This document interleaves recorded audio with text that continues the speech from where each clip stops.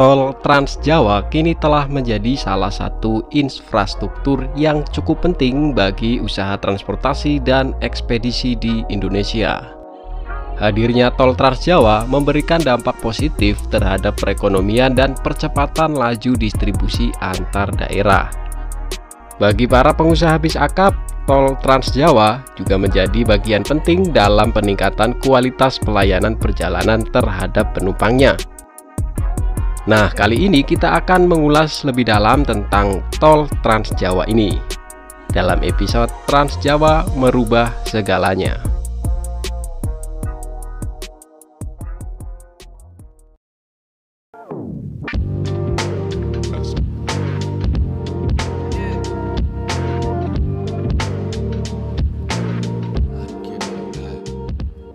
Trans Jawa merupakan gabungan dari beberapa ruas tol yang membentang dari barat hingga timur Pulau Jawa dengan panjang keseluruhan 1167 km.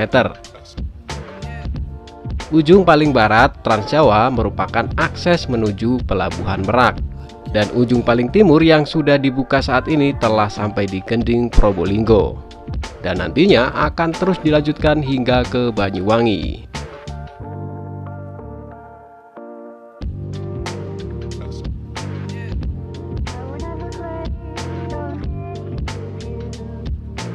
Trans Jawa terdapat 20 ruas tol di dalamnya.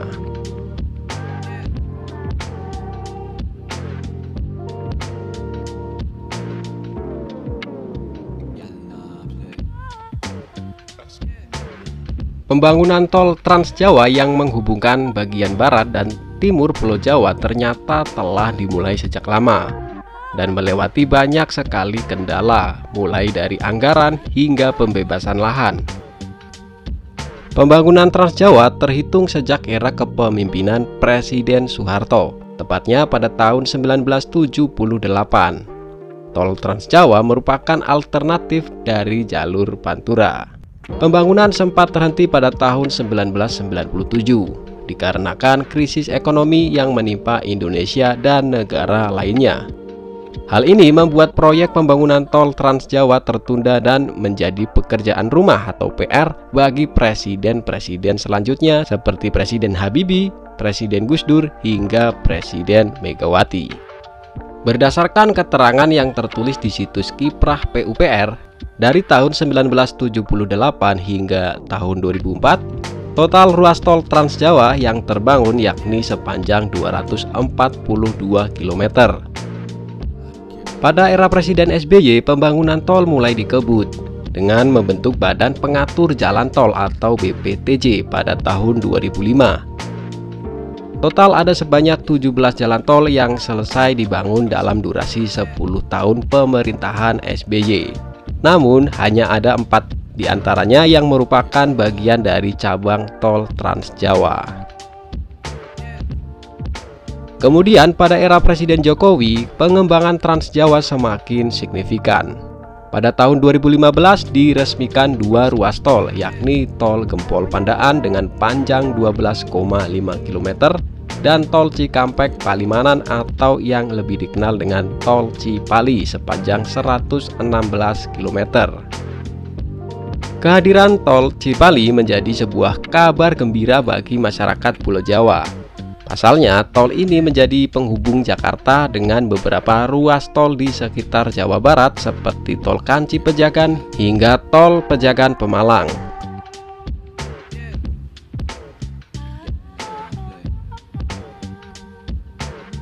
Lalu pada tahun 2018 Presiden Jokowi meresmikan tujuh ruas tol yang menjadi cabang dari tol Trans Jawa. Dan masih terus berlanjut hingga kepingan puzzle terakhir dari rangkaian ruas Trans Jawa yakni Tol Probolinggo Banyuwangi yang ditargetkan akan rampung pada Desember 2024. Yang jelas jalan tol ini akan membuat kita lebih cepat, lebih mudah dan juga lebih murah. Sore hari ini saya berada di ruas uh, tol Trans Jawa di Semarang Batang di Kalikuto ini jembatan Kalikuto ini ini ini. ini.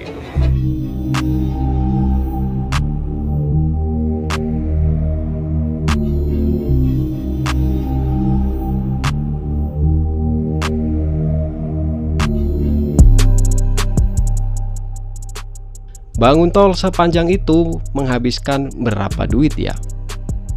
Menurut data Badan Pengatur Jalan Tol, total biaya yang digunakan dalam pembangunan Transjawa mencapai 582 triliun rupiah. Dari mana sumber biayanya? Apakah ngutang? Berdasarkan data Badan Pengatur Jalan Tol atau BPTJ yang dimuat oleh detik.com pada Senin 1 Juli 2019, sumber pembiayaan yang dipakai dalam pembangunan tol ini berasal dari tiga jenis sumber. Sumber pembiayaan yang digunakan paling besar dari utang yang dilakukan oleh investor sebesar 50% atau sekitar 291 triliun rupiah. Lalu dari ekuitas Badan Usaha Jalan Tol atau BUTJ sekitar 44% atau sekitar 255 triliun rupiah. Dan pembiayaan dari APBN sebesar 6% yang disalurkan melalui mekanisme Viability Gap Fund. Sumber pembiayaan dari APBN sebesar 6% tersebut terdiri dari pinjaman antara Indonesia dengan China sebesar 13,3 triliun rupiah berasal dari APBD sebesar 1,5 triliun rupiah dan berasal dari APBN sebesar 5,4 triliun rupiah.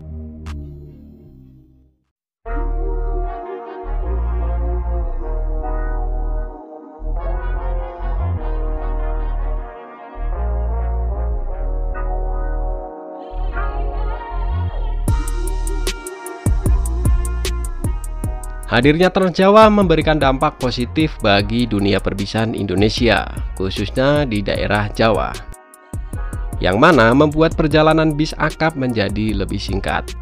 Perusahaan otobis bisa lebih leluasa untuk meluaskan jaringan trayek. Yang tadinya mainnya di sekitaran situ-situ aja, kini tahu-tahu udah sampai Jatim dan sekitarnya. Bisnis usaha bis juga kian bangkit dan semakin kompetitif. Kualitas pelayanan dan fasilitas tiap-tiap PO bis juga semakin membaik.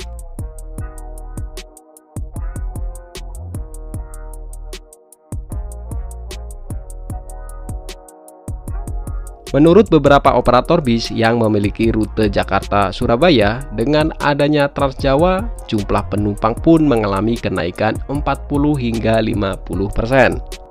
Itu berkat waktu tempuhnya yang lebih cepat, yakni berkisar 10 hingga 12 jam saja untuk jurusan Jakarta-Surabaya. Daripada dulu waktu masih zaman Pantura yang ditempuh bisa satu hari perjalanan. Ditambah sekarang bis punya kelas sleeper, kelas sultan, dan kelas-kelas hedon lainnya yang banyak menarik minat penumpang. Memang jika dibandingkan dengan moda transportasi lain, waktu tempuh bis masih kalah cepat.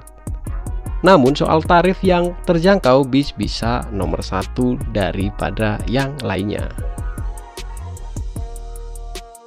Meskipun sudah ada tol Trans Jawa yang bisa memangkas waktu tempuh, namun masih ada sedikit aura pantura dulu.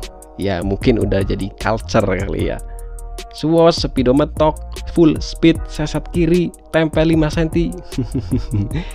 ya katanya biar nggak ngantuk. Ya wes oke lah sing penting hati-hati bosku. Oke dan sampai di sini dulu episode kali ini. Makasih buat yang udah nonton. Wassalamualaikum warahmatullahi wabarakatuh.